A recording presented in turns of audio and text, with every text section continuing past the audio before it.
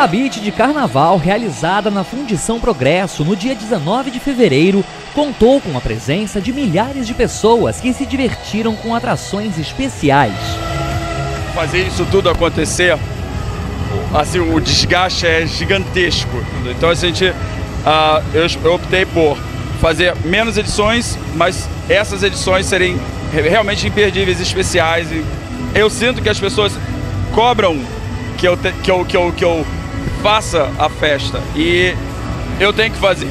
Eu tô fazendo essa daqui, eu, eu, eu, não ia nem fazer, eu resolvi fazer. Falei assim, bom, já que as pessoas estão me pedindo, eu vou fazer, mas vou aproveitar a ocasião do carnaval para fazer a grande edição e já mandei uma pela mala direta, já avisei. Aproveita, mas aproveitem mesmo, porque agora eu vou fazer uma vez por ano, talvez duas, com a força do site fino, três. Não, olha só. Não, porque a Beat ela já conseguiu chegar na Terra Encantada, lotar a festa com 9 mil pessoas. E assim, as pessoas sentem inclusive falta disso. É, porque a Beat começou no Tivoli Park, que é um parque que tinha na, na Lagoa de Freitas, isso. Quer dizer, na verdade ela não começou lá, ela começou em Casarões, em São Conrado. E daí a gente fez Morro da Urca, quando o Morro da Urca tava assim, as, assim para festas, para eventos, não tinha mais o Noites Cariocas, os eventos que, que haviam lá antes. É, e aí a gente fez, o beat sobe o morro e fez.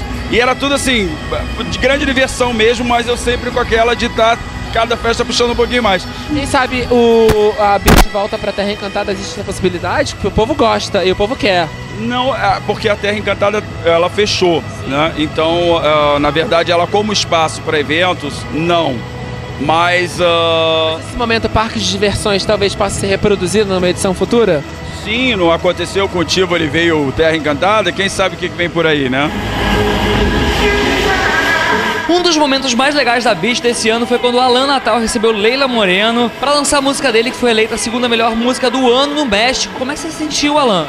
Olha, eu já fiz show com a Leila em vários outros lugares, mas hoje foi incrível. Ela aparecer assim do nada, assim, foi realmente mágico, assim, a gente vibrou muito, o público cantando a música, foi realmente muito mágico. A gente... E qual é a emoção do público inteiro vibrando com você tocando? Ah, eu realmente arrepiei ele, vendo todo mundo, assim, foi uma festa mágica, eu adorei. Obrigado, Rio de Janeiro, cidade maravilhosa. Então, agora eu tô começando a trabalhar no meu novo single, deve sair mais ou menos em abril, com a Patrícia Camin, uma das maiores vozes do Brasil, voz linda. E também estou trabalhando com uma, um novo single para depois, com uma cantora espanhola. Então aguarde, vai ser bastante legal. Vamos ficar aguardando. Mas sem dúvida deu para ver que o público aprovou a parceria entre Alan e Leila. Quando você faz uma coisa com paixão, com amor, rende muito mais. Qualquer trabalho que você faça com, com amor, assim, vai render muito mais. E principalmente música precisa de criatividade, você precisa estar ali transmitir uma emoção para as pessoas. Então você tem que ter amor mesmo. Você está fazendo ali, ficar horas no estúdio ouvindo a mesma coisa. Você tem que ter amor mesmo para fazer uma coisa legal e agradar todo mundo, passar uma energia legal para todo mundo. A galera também prestigiou a atração internacional Orphanissim, que trouxe todos os seus hits mais famosos. Primeira noite que a gente trouxe ele foi o lançamento mundial do CD da Madonna, o Confessions on a Dance Floor. E uh, foi mágica, foi, foi assim, a química uh, Offer e Beat deu muito certo e continua dando. Né? Realmente, Offer faz muito sucesso. Infelizmente, ele não quis conversar com a nossa equipe. respeita, respeita.